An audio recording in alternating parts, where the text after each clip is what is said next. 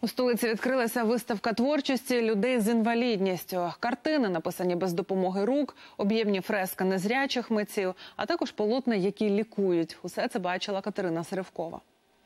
Не спеши, все хорошо, набирай больше красочки, все получится.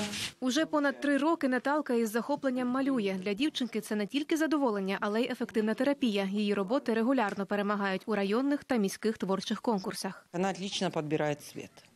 Э, Она знает, чего она хочет и как это изобразить. Здесь каждое, каждое движение – это какая-то маленькая победа. Они рисуют пальчиками, и это развивает, как, действует как развитие моторики мелкой. Наши совместные усилия, они вот приносят чудесные результаты. Мы, конечно, ну, не могли подумать, что Наташа сможет, потому что у нас очень тяжелый диагноз, и ручки у нас очень плохо. Мы даже не верили, что что-то получится. Роботи Наталки разом з іншими творами особливих людей стали прикрасою виставки, а ще символом віри у власні можливості. Федір пише реалістичні картини, тримаючи пензлик зубами.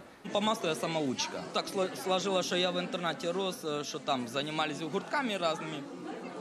О, я увидел, что маслом пишут картины. И понравилось. А ці картини створили незрячі митці. Аби передати свою ідею, крім кольору, автори використали об'ємні рельєфні форми. Тож і сприймати витвори варто на дотик.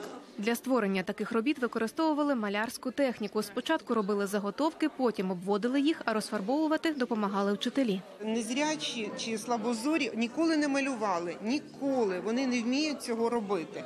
Але в них таке бажання я хочу малювати. І коли почали малювати, це було стільки ну радості, стільки всього, що я малюю. Це в мене виходить. Організатори зібрали талановитих людей з обмеженими можливостями не лише аби подарувати приємні емоції, а й допомогти вийти у світ. Сподіваються, що це спонукатиме роботодавців надати їм змогу заробляти своєю творчістю. Катерина Сривкова, Валентин Біліч, Богдан Савруцький. Новини телеканал Інтер.